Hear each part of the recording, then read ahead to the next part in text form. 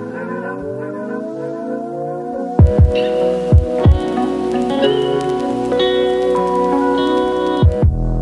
another edition of African Taste Buds. Today's edition we'll do a snoek on the grill. Ingredients uh, for this uh, recipe is uh, a piece of snoek, some garlic butter and some apricot jam. And for taste we'll have a little bit of Himalayan salt, of course, and some black pepper. So the first step in preparing your snoek would be to melt your garlic butter and your apricot jam together. Mix them properly together.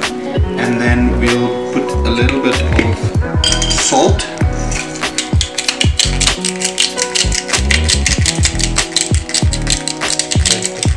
Salt. And then some black pepper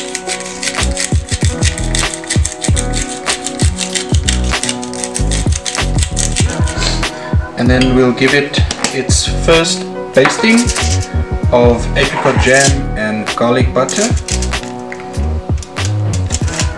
The rest of the other bastings we'll do on the grill. You have to baste it continuously whilst on the grill.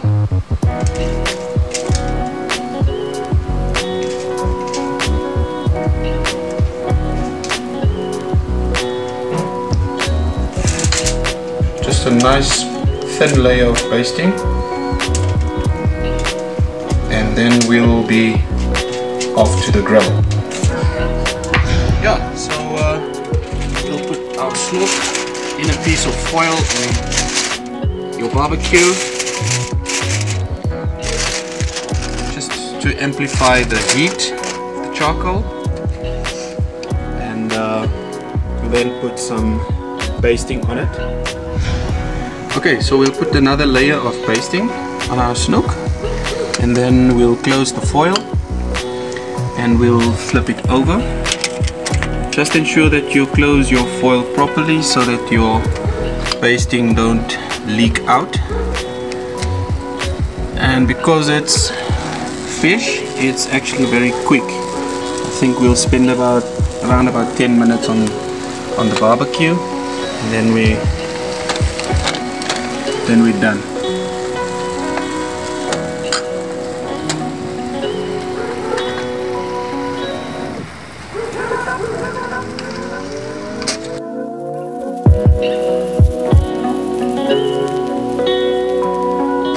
I would prescribe that you use gloves when doing this because it might be too hard to do it with your bare hands. So we flip over and we'll leave it there for another 3 to 4 minutes and then we should be done. So now we'll flip it back over again just to have a peek.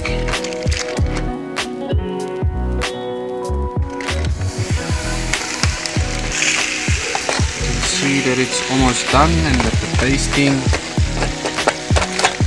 has melted. Do one more basting again.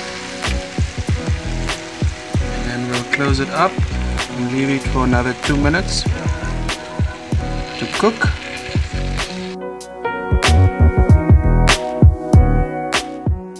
We want it to boil because that's the perfect condition for for this recipe.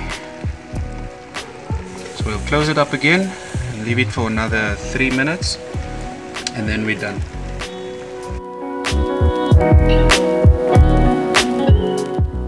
There we go. And after three minutes we're ready to serve.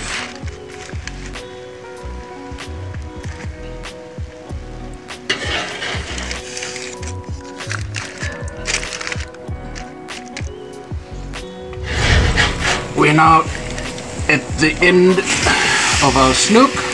Just toss it back again. And then we'll open up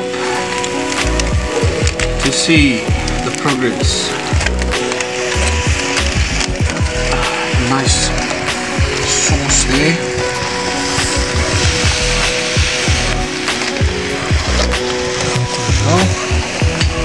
Now that it's hot, we'll put the last basting on and then we're done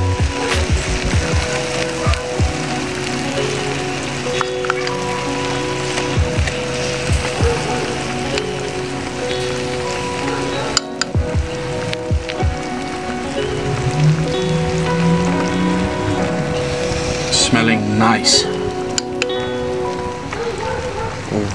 So we're done. So we can take it off and ready to serve. Okay so before we remove it we'll just check the texture.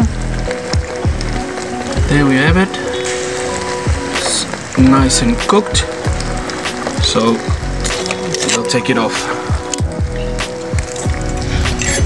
And that's it. So catch us on the next edition of African Taste Buds. See you then happy cooking